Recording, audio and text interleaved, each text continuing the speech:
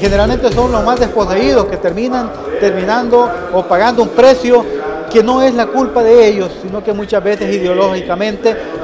el precio que suma un país cuando se convulsiona de cualquier naturaleza, al final los más desprotegidos son los que terminan pagando esta situación. Nosotros respetuosos de las situaciones de cada uno de los países, lo que podemos hacer es sumarnos hacia los distintos sectores que están abogando por una salida eh, dialogada, una salida que pueda eh, permitir a los ecuatorianos salir de esta crisis en la cual están.